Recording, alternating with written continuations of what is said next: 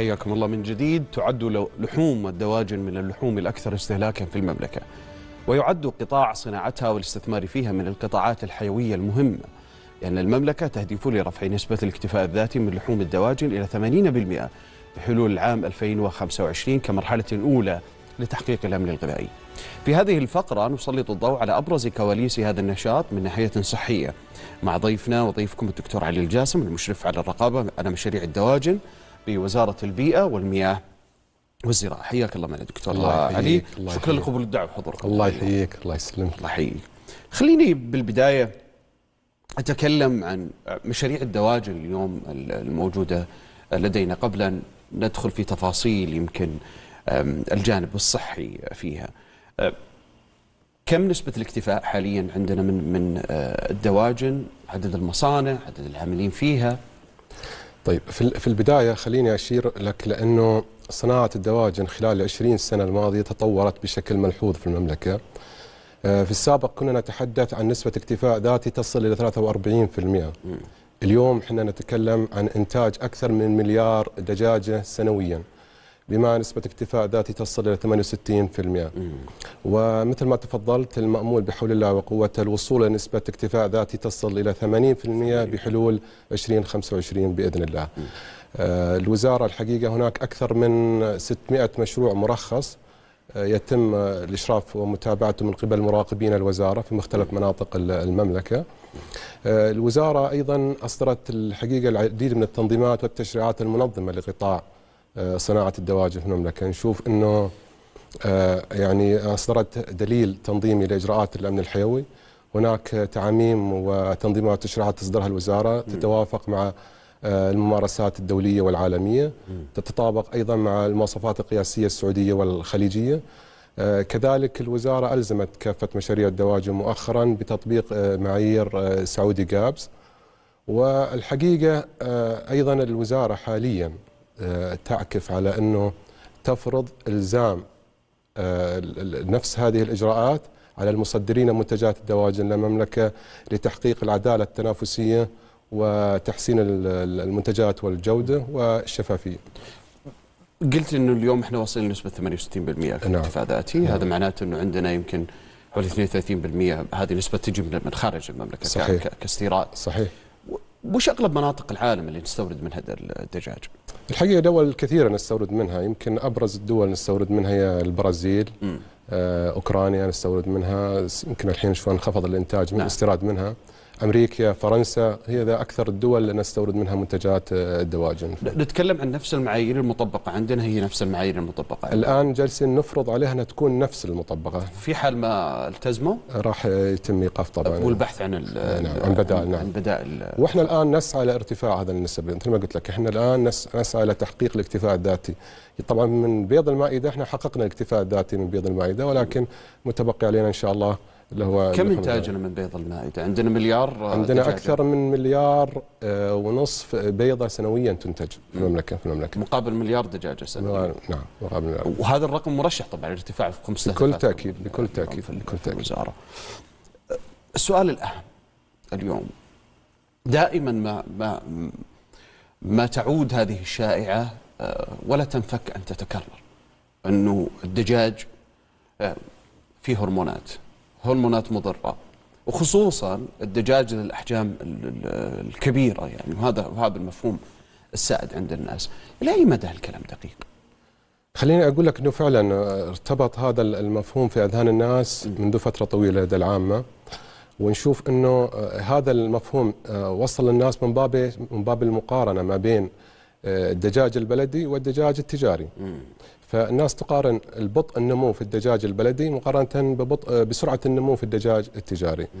طبعا أكد لك إنه يعني استخدام الهرمونات محظور استخدامه في المملكة وليس نهائياً. فقط نهائيا وليس فقط في المملكة بل على مستوى العالم يعني استخدام الهرمونات محظور بشكل تام وأعتقد إنه هذه تهمة يعني ألصقت بصناعة الدواجن وظلمت الصناعة. الحاصل الفعلي فعلا إنه الدجاج يكبر ونشوفه بسرعة النمو هذا. عائده إلى عده عوامل. لعل أبرزها هي عملية الانتخاب والاختيار اللي تتم لهذه السلالات. تتم بشكل يعني دقيق جدا. الشركات تعمل على انتخاب أفضل السلالات العالمية وأفضل الصفات. خلينا أقول لك مثل صفة إنها تكون سلالات مقاومة للأمراض.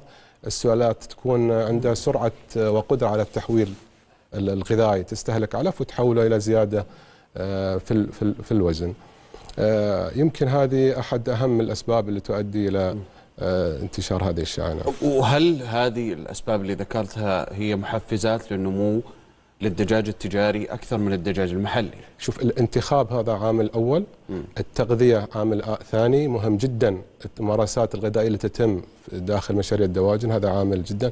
أنت اليوم لو تقارن التغذية في الدجاج البلدي مع التغذية في الدجاج التجاري الدجاج البلدي ممكن اليوم يتغذى في المرعى وجد حشائش بكرة آه، غنيه بمصادر مثلا الفيتامينات والمعادن لكنها تفتقر إلى البروتين.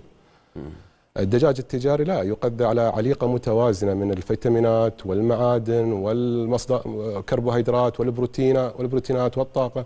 فالتغذية مهمة جدا. العامل الآخر هي عملية الرعاية اللي تتم في المشاريع التجاريه اليوم الدجاج البلدي يتعرض إلى إجهاد حراري. اليوم ترتفع درجة الحراره بكرة تنزل درجة الحرارة بينما لا في في في الحظائر الدجاج التجاري درجة الحرارة وأنظمة الرعاية دقيقة جدا داخل مشاريع الدواجن. فالعوامل اللي موجودة اليوم في, في الدجاج التجاري مختلفة تماما عن جدا الدجاج جدا فلذلك إحنا نشوف الفرق اليوم. نعم هذا فيما يتعلق بالمصانع المحلية اللي داخل المملكة واللي أكيد لكم يعني نشاط رقابي صارم عليها كما. تفضلت. نعم. لكن ماذا عن المستورد؟ أنا أعرف إنه يطبق معايير وأنت قلت قبل شوي إنه يفرض عليهم معايير لكن كيف تتأكد اليوم الوزارة إنه هذا الدجاج أثناء مرحلة وش تسمونها أنتم؟ مرحلة تربية. التسمين التربية, التربية ايا كانت. كيف تتأكد إنه ما مر يعني بمراحل تعرض فيها لهرمونات؟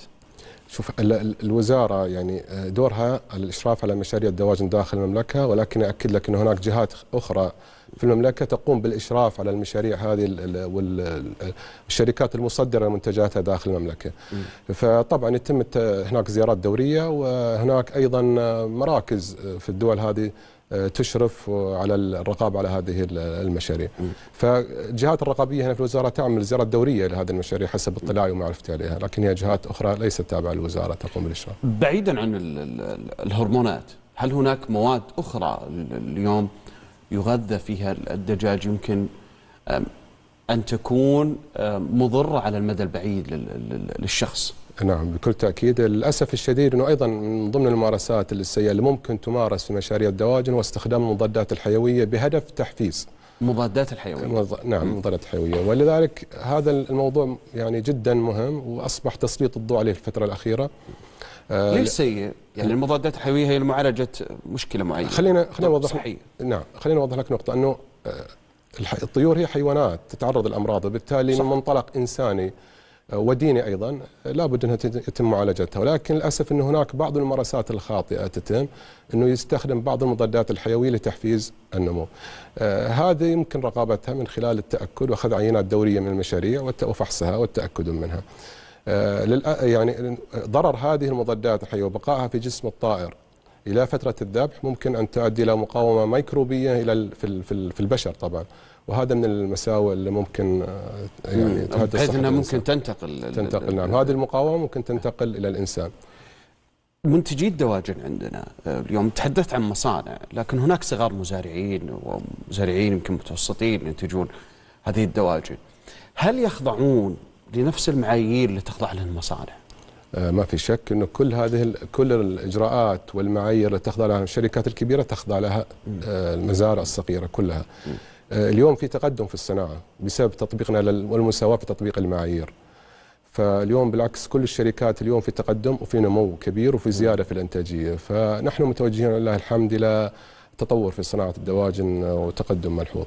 الأسبوع الماضي كنا في حديث مع أحد الضيوف عن موضوع دعم الزراعة المحلية بكافة أشكالها من بينها زراعة آه، الدواجن وكنا نتحدث عن اللحوم المستوردة وتحديدا المستخدمة في آه، المحال والمطاعم التجارية وأنه ليش ما تكون أولوية إذا جاز لنا تسميتها المحتوى المحلي سواء دجاج أو خضار أو زراعة أو أيا كان وأتكلم عن الدجاج الحين بحكم الاختصاص ليش ما يكون في تحفيز اليوم للمحال التجارية لاستخدام آه، الدجاج ال- ال- آه، المحلي سواء البلدي أو حتى التجاري؟ ونخفض هذه النسبة اللي تكلمت عليها قبل شوي اللي هي 32% إلى أقل من ذلك. هو الحقيقة الوزارة تعمل على هذا المبدأ ويمكن هناك لقاءات دورية تقوم فيها الوزارة مع المصنعين وأصحاب المطاعم الكبيرة لتحفيزهم على الاستهلاك واستخدام المنتج المحلي آه، هناك بعض التحديات اللي الوزارة الآن تعمل على يعني أنها تكون آه، يعني تظللها ل- ل- لأصحاب المطاعم وأصحاب الشركات هذه حاليا. آه، قد يكون أبرز الأمور هذه اللي هو التكلفة السعرية للمستورد منخفض جدا مقابل نعم. ليش؟ آه، خليني أقول لك العامل يعني الرئيسي في نقل وفي تأمين وقصه طويلة. نعم هو أقل بعد ليش؟ هو ما في شك إنه نسبة الأعلاف اللي تستخدم إحنا بلد نستورد الأعلاف. الأعلاف في الدواجن تشكل ما نسبته من 60 إلى 65% من التكلفة الإجمالية آه. للدجاج اللاحم الم... كمدخل لل... كمدخل نعم نعم وهذا هذا تحدي كبير حقيقة. يواجهنا يواجه المنتجين الدواجن داخل المملكة. الوزارة تحاول أن يعني تقلص الفجوة ما بيننا وبين الموردين وإن شاء الله ماشي في الاتجاه الصحيح. هذا الأمر. جيد. لو أنا كمستهلك اليوم وابى اختار نوع الدجاج اللي أتغذى عليه أنا وعائلتي كيف أعرف إنه هذا المنتج هو الأفضل؟ آه، بداية نحن كمستهل- كمستهلكين لابد أن نحرص على أن نستهلك الدجاج أو نشتري الدجاج من مصادر مو- موثوقة من مراكز تجارية موثوقة نتأكد أنه كافة البيانات مدونة على عبوة المنتج آه، نحرص إن إحنا نأخذ الدجاج دائما من الثلاجات أو البرادات اللي تكون درجة الحرارة ما بين صفر إلى أربع درجات مئوية إذا كنت أنا راح أستهلك دجاج آه، مبرد. وفي حال استهلاك الدجاج المجمد أتأكد إنه درجة حرارة الحفظ كانت ما بين آه، ماينس 18 درجة مئوية. آه، نحاول دائما آه، ن- نختار الدجاج اللي يكون ما عليه أي يعني تغير في اللون أي رائحة. آه، كذلك نحرص دائما ان إحنا نبحث عن الدجاج اللي يكون شوية آه، كبير في الحجم. نبتدي شوي عن الصغير في الحجم. مستصح شوية تقريبا نعم نعم. نعم. بكل تأكيد. يمكن هذه أبرز العوامل اللي إحنا نحرص عليها أثناء شرائنا للمنتج من المحال آه، التجاريه نعم. في السابق آه ويعني يمكن كثير من الناس يذكر كان في محلات صغيرة موجودة في كل أرجاء المملكة لشركتين وثلاث شركات معينة. كنت تاخذ في منها الدجاج الحي ويدخل الدجاجة في في في, في, في ذيك الآلة ويقصها تنتفها ويعطيك الدجاجة. نتفق آه، آه، حي يعني خلاص جاهزة لأنك تأخذها. والبعض كان يرى انه هذه يعني طريقة أنظف وأسلم وآمن وأنه يشوف ال- ال- الدجاجة بعينه يعني ويشوف ذبحها بعينه. ويأخذها برضو على ما يقولون فريش. ليش توقفت؟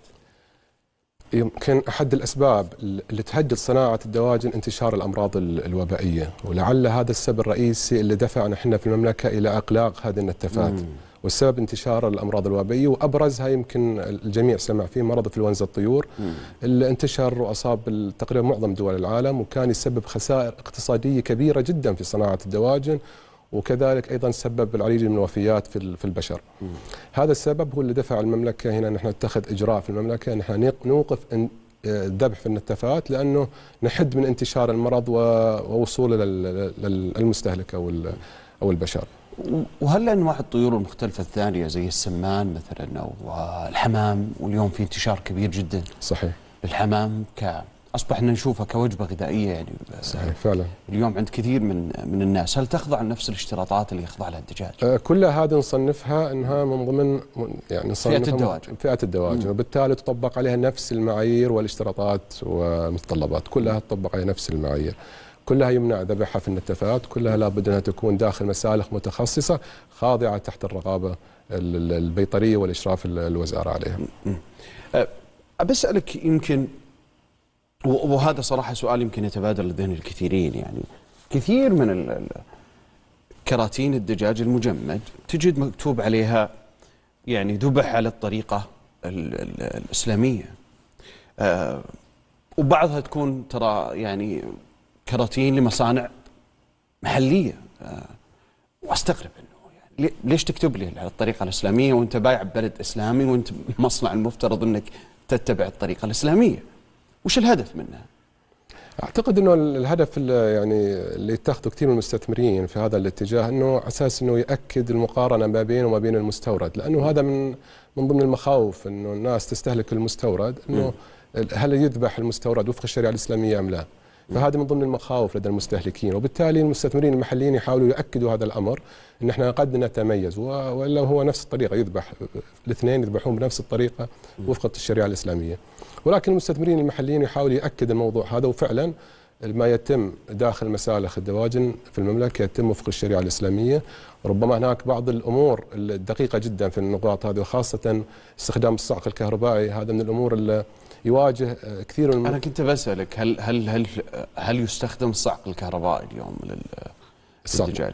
نعم. الصعق الكهربائي خلينا أوضح بس نقطة هنا معينة، الصعق الكهربائي يستخدم في مسالخ الدواجن بهدف تهدئة الطيور قبل عملية الذبح وبالتالي الحصول على جودة في المنتج وليس لعملية قبل؟ قبل الذبح. قبل الذبح ليش؟ تهدئة الطيور وتخديرها قبل الذبح وبالتالي يعني أنا الصعق ما يؤدي للوفاة نعم هو يستهدف هذا الهدف ولكن الحاصل إنه فعلا آه، وجد إنه طبعا الصعق يستهلك ما بين 12 إلى 40 فولتج. وجدوا إنه هناك نسبة مثلا الطيور الضعيفة المريضة ممكن أن تنفق في, في استخدام الصعق وبالتالي آه، تم تحريم استخدام الصعق والمواصفة القياسية الخليجية السعودية تمنع استخدام الصعق الكهربائي في اطلاقا. اطلاقا في مسالخ أجل شلون تتم عملية الذبح؟ تتم الاسلاميه يقول. جميل جدا. آه، شوف كل العمليات اللي تتم داخل المسلخ تتم بشكل آلي باستثناء منطقة واحدة داخل المسلخ اللي هي بس. م... نعم اللي هي منطقة الذبح. منطقة الذبح هذه يكون فيها. آه... ثلاثة ذباحين على خط السير. يمر الطير الطيور كلها تمر على خط السير والثلاثة ذباحين يكون أو الجزارين واقفين على خط السير. تتم ذبح عملية ذبح كل طائر لوحده بطريقة يدوية. وبالتالي تمشي الطيور في العملية الأوتوماتيكية داخل المسلخ هذا داخليا. داخليا نعم هذا ما يتم. داخل المملكة داخل خارج المملكة. خارج المملكة آه، في طبعا بعض الدول تستخدم الصاق الكهربائي وبعضها يستخدم ثاني أكسيد الكربون لعملية تخدير الطيور. آه لكن أكد لك إنه هذا الموضوع لا يتم في المملكة مطلقا.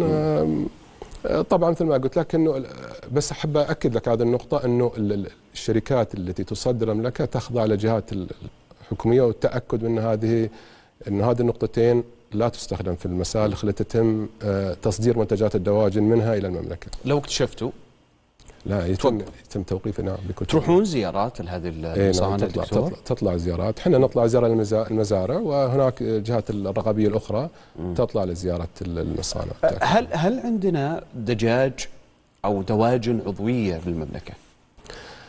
جميل جدا، هو في الواقع إنه لوحظ في الفترة الأخيرة اهتمام كبير من المستهلكين بالمنتجات العضوية وعلى ضوء ذلك الوزارة حرصت على هذا الموضوع وشجعت عليه. اليوم نشوف في عندنا تقريبا أكثر من مستثمر بدأ ينتج بيض عضوي داخل المملكة. الوزارة أيضا بدأت في إنشاء وحدة آه، لإجراء بعض الأبحاث والاختبارات على إنتاج سلالات محلية لإنتاج الدواجن العضوية داخل المملكة. كذلك بدأت الوزارة في تقديم التسهيلات لكل المستثمرين الراغبين في الدخول في هذا المجال في مجال إنتاج الدواجن العضوية داخل المملكة. أه، كمستهلك وش أفضل يستخدم مبرد ولا مجمد؟ آه، طبعا هي هي راجعة لذوق المستهلك ولكن يمكن حنا نفضل دائما المجمد أفضل. ليش؟ الفترة الصلاحية أول شيء فترة طويلة لأنه أنت مم. فترة الصلاحية الطازج هي فترة قليلة ما بين أربعة إلى سبعة أيام سبع أيام صح سبعة أيام ولكن المجمد هي يبقى يمكن تقريبا إلى تسعة شهور أو سنة كاملة إذا تم تجميده بالطريقة الصحيحة مم. فنشجع دائما إنه بالعكس يكون الاستخدام المجمد أفضل من من الطازج. أه. أيضا جانب آخر نعم. جودة المنتج، كل ما تعرض الدجاج إلى جودة إلى بروده عالية بنسميها عندنا عندنا التيبس الرمي ال rigor mortis هذا يعطي يكسر الأنزيمات التجميد العالي يكسر الأنزيمات وبالتالي يعطي نكهة وجودة للمنتج. مم. ويمكن لو جربت أكلت دجاج أو لحم آه، طازج ومقابل لحم تو مذبوح مذبوح ولحم مجمد راح تشعر بالفرق. آه، اللي هو آه، الأنزيمات؟ أي تحس الطراوة دائما في اللحم المجمد اطرى من اللحم الطازج بسبب تكسير المنتج. أنا أحس العكس. لا وهذا المفهوم الخاطئ.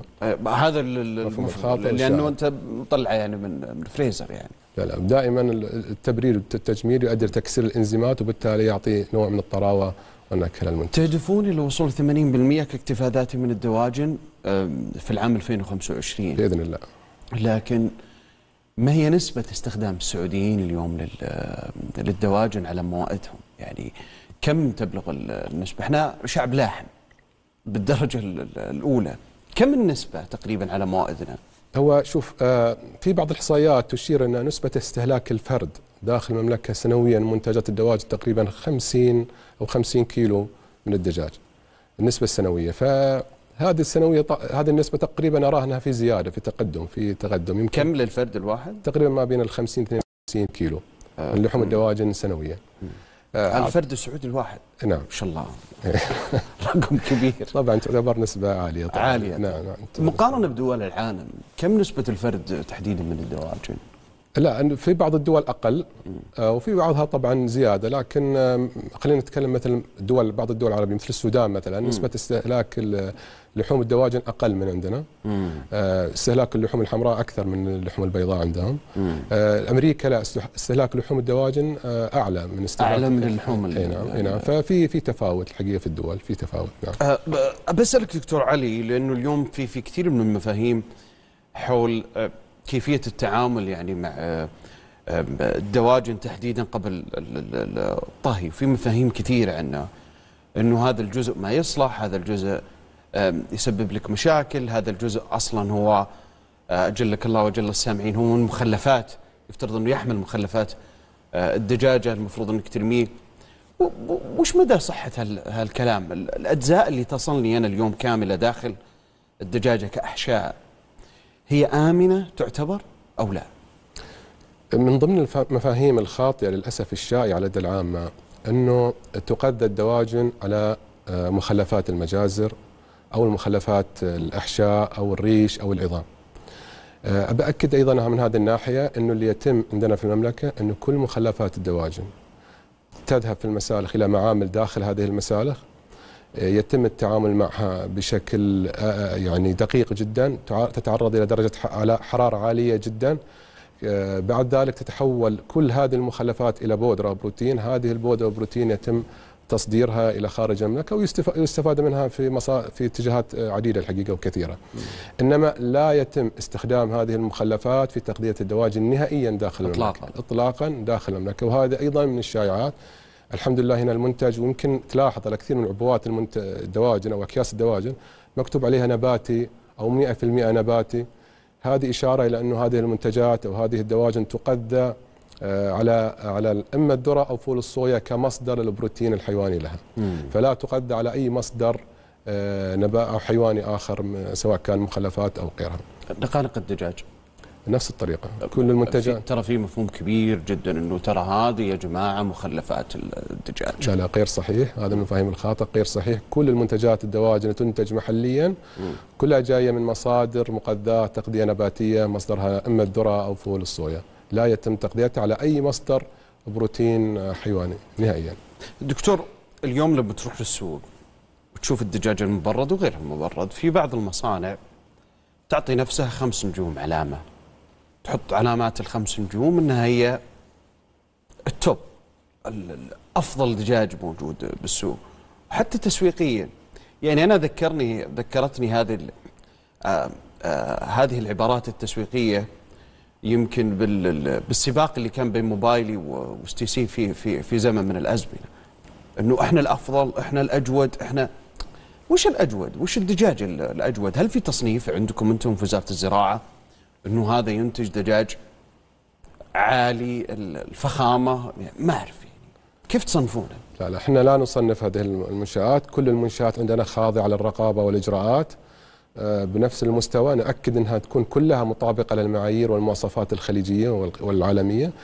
آه، نأكد على هذا أنها تكون كلها أيضا مطابقة لمعايير سعودي جابس آه، إنما قد تكون بعض الشركات تحاول تتنافس في في موضوع الجودة شوية. قد تتخذ بعض الإجراءات والممارسات اللي تكون أفضل من من الأخرى. مثل إيش؟ آه، كثير من الأمور مثلا آه، في عملية التطهير والتنظيف مثلا. عملية التنظيف والتطهير مهم جدا انها تكون تتم بشكل دقيق داخل ال- ال- المسالخ. فهذه من الأمور اللي تعملون عملية التغليف والجودة. اليوم تشوف التغليف في شيء بكيس شيء لا يظهر آه، يظهر آه، كيس شفاف يظهر الحبة كاملة. فهذه نوع من أيضا من التنافسية في عملية التقليف. بحيث إنه يقلف بشكل جودة آه، بشكل حديث يعطيها فترة صلاحية أطول. هذه من الأمور اللي يعني يتم التنافس الحقيقة فيها في بعض ال- المعايير. بعض الدجاج بعد بعد طبخة آه، تحديدا بعضه وليس كله وهذه النسبة قليلة جدا يعني وهذا مو متداول إنه تحول لون العظام إلى إلى ما يقارب اللون البني أو اللون ال- الأسود. صحيح. هل هذا شيء طبيعي؟ صحيح. هذا مثل ما تكلمنا في البداية إنه هذا آه، يعتبر من الجريد بي وهذا احد الأسباب اللي تدفع كثير من المستثمرين لاتجاه لاستخدام الصاق الكهربائي. درجة د- درجة بي نعم. ليش؟ لا- لأنه ال- الح- الحركة الطبيعية للطيور بعد الذبح إيش هي؟ حركة طبيعية حركة الأجنحة ورفرفة الأجنحة وحركة السيقان، ردة فعل طبيعية بعد عملية الذبح. هذه الحركة تؤدي لعمليه تمزق في الأوعية الدموية سواء في منطقة الأجنحة أو منطقة السيقان لدى هذه الطيور، وبالتالي لما يصير تمزق للاوعيه الدموية تبقى بقعة دموية في هذه المناطق وبعد الطبخ تأخذ اللون اللي هو اللون الأسود أو اللون البني اللي فعلا يؤدي إن إحنا نفهم إن هذه آه، يعني مؤشر إلى أنها سوء الجودة. هذه من الأسباب الرئيسية اللي تؤدي لها ولذلك يحرص كثير من المستثمرين يحرص كثير من المستثمرين أنه يع- يعني تكون هناك ممارسات جيدة قبل عملية الذبح لتهدئة الطيور لتقليل آه، هذه ال- الأمور أو هذه الناتج اللي يحدث في هذه الطيور. أه، رسالتك الأخيرة دكتور علي الحقيقة نحن بوجه رسالة إلى كل ربة منزل بعد الحرص على أنها تقتني منتجات الدواجن من مصادر موثوقة وشركات معروفة ومصادر موثوقة داخل المنزل تحرص على عدم تقطيع ذبائح داخل المنزل حتى لا تتسبب هذا الأمر في انتشار لا قدر الله ما أمراض آه، تسبب لها مشاكل صحية داخل المنزل وأفراد أسرته.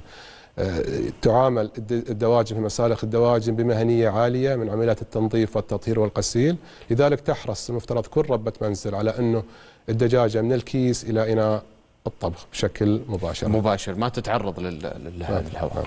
أشكرك جزيل الشكر شكرا لكل هذه المعلومات القيمة العفو، دكتور علي. الجاسم المشرف على الرقابة على مشاريع الدواجن في وزاره البيئة والمياه والزراعه بعد الفاصل.